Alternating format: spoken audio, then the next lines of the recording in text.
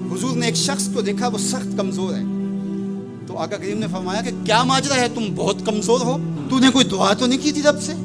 کہا جی حضور، میں نے اللہ سے دعا کی تھی۔ کیا دعا مانگی؟ کہا، میں نے اللہ سے کہا، مالک، جو بھی تکلیفیں ہیں، مصیبتیں ہیں، وہ آخرت کے حصے کی بھی دنیا پہ بھیج دے، تاکہ یہیں فارغ ہو کے جاؤں، آخرت میری صاف ہو جائے تو بڑے دکھڑے ہیں، بڑے غم ہیں، بڑی اذیتیں ہیں، بڑی بیماریاں ہیں، جس نے مجھے کمزور کر دیا۔